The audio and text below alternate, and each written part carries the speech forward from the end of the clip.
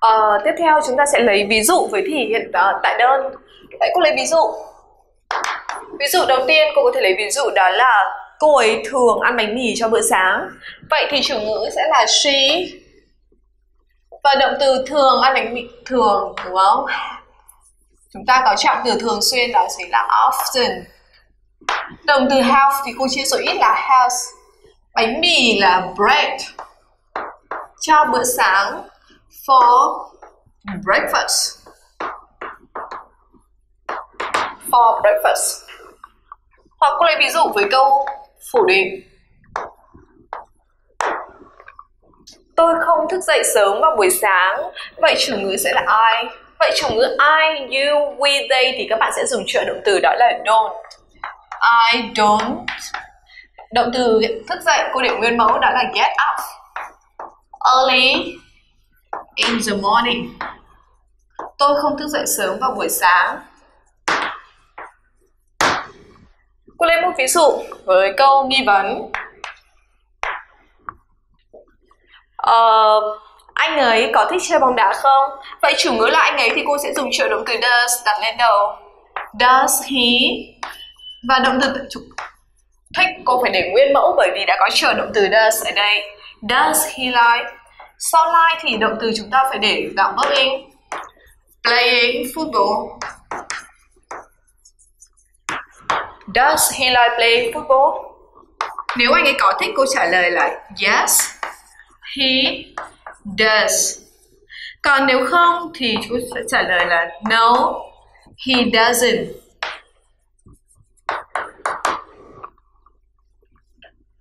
Chúng ta chuyển sang phần số 2 1.2 đó chính là US. Các cách sử dụng của hiện tại đơn. Thì các bạn chú ý là trong với hiện tại đơn chúng ta có ba cách sử dụng. Cách sử dụng đầu tiên đó chính là a routine. A, a habit. A routine or habit. Routine. Có thể một số bạn chưa biết đó chính là cái công việc hàng ngày. Công việc hàng ngày. Còn habit của chúng ta đó chính là thói quen. Việc hàng ngày hoặc là thói quen. Vậy cách sử dụng đầu tiên đó chính là thì hiện tại đơn dùng để diễn tả. Những cái việc, công việc hàng ngày nghĩa là cái việc nó xảy ra liên, nghĩa là nó xảy ra lặp đi lặp lại ngày nào cũng thế. Hoặc là diễn tả một thói quen của chúng ta thì chúng ta sẽ dùng ở hiện tại đơn. Vậy cô sẽ lấy ví dụ với cách sử dụng đầu tiên của chúng ta.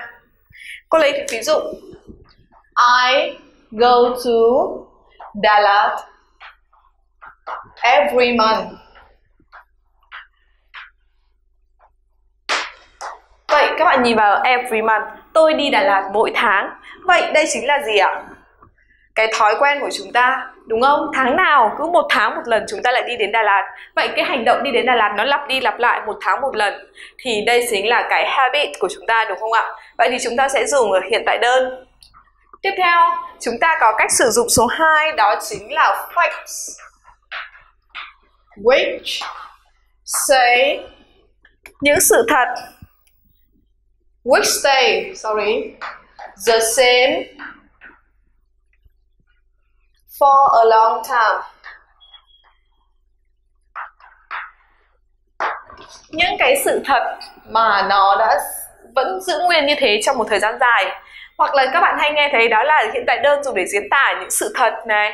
Những uh, chân lý những sự thật hiển nhiên thì chúng ta sẽ dùng để hiện tại đơn. Cô lấy ví dụ.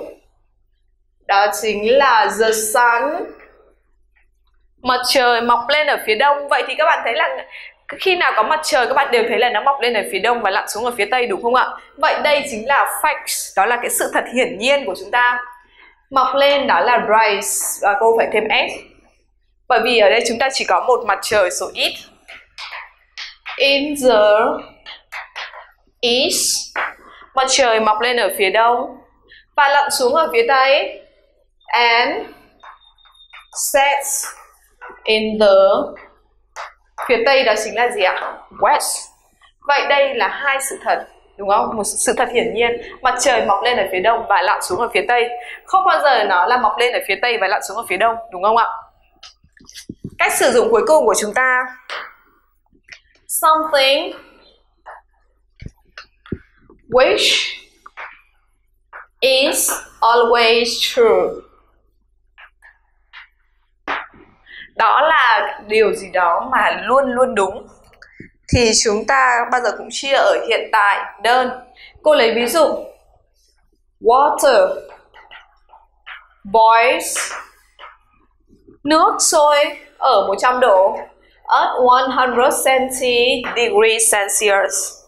Vậy, cái việc mà nước sôi ở 100 độ này, các bạn thấy đó là cái điều này luôn luôn xảy ra đúng. Cứ đến 100 độ thì nước sẽ sôi, đúng không ạ? Vậy ở đây cô chia hiện tại đơn và thêm s bởi vì danh từ ở đây là water. Đây là danh từ không đếm được. Và những danh từ không đếm được thì bao giờ chúng ta cũng chia động từ ở số ít. Vậy thì chúng ta đã vừa hoàn thành xong thì hiện tại đơn. Tiếp theo chúng ta sẽ chuyển sang phần số 2 đó là thì hiện tại tiếp diễn.